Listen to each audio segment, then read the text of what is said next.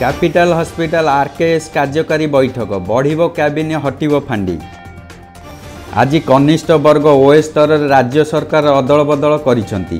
ଉପଜିଲ୍ଲାପାଳ ତହସିଲଦାର ବିଡିଓ ଅନୁସଚିବ ପଦବୀରେ ଥିବା ତେର ଜଣ ଅଧିକାରୀ ବଦଳି ନେଇ ରାଜସ୍ୱ ଓ ବିପର୍ଯ୍ୟୟ ପରିଚାଳନା ବିଭାଗ ପକ୍ଷରୁ ବିଜ୍ଞପ୍ତି ପ୍ରକାଶ ପାଇଛି। ଓଡ଼ିଶା ଝାଡ଼ଖଣ୍ଡ ସୀମାନ୍ତ ଆରାହାସ ଜଙ୍ଗଲରୁ ବାଇଶ ଲ୍ୟାଣ୍ଡଲାଇନ୍ ଉଦ୍ଧାର ନିଷ୍କ୍ରିୟ କଲେ ସିଆର୍ପିଏଫ୍ ଯବାନ ଜନପ୍ରତିନିଧି ସରକାରୀ କର୍ମଚାରୀ ଦେବେ ସମ୍ପତ୍ତି ତାଲିକା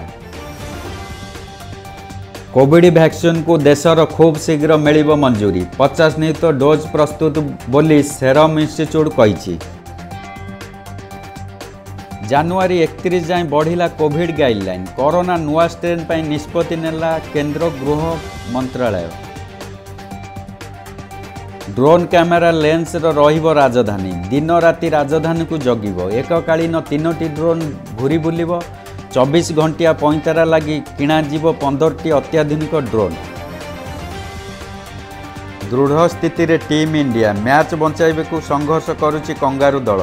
ଦ୍ୱିତୀୟ ପାଳିରେ ଅଷ୍ଟ୍ରେଲିଆ ଛଅ ୱିକେଟରେ ଶହେ ତେତିଶ ରନ୍ କରିଛି। କେନ୍ଦ୍ର ସରକାର ତରଫରୁ ଜିଏସ୍ଟି କ୍ଷତିପୂରଣ ନବମ କିସ୍ତି ଜାରି କରାଯାଇଛି। ଏଥର ଓଡ଼ିଶାକୁ ଦୁଇଶହ ଆଠ ଦଶମିକ ଶୂନ ଆଠ କୋଟି ଟଙ୍କା ମିଳିଛି। ନଅ ଥରରେ ରାଜ୍ୟକୁ ସମୁଦାୟ ଏକୋଇଶହ ବାଷଠି ଦଶମିକ ଅଣତିରିଶ କୋଟି ଟଙ୍କା ମିଳିଛି।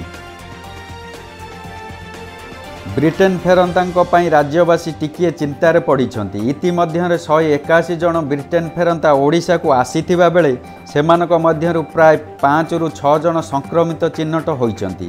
ହେଲେ ଏପର୍ଯ୍ୟନ୍ତ ପଚସ୍ତରୀ ଜଣଙ୍କ ପତ୍ତା ମିଳୁନି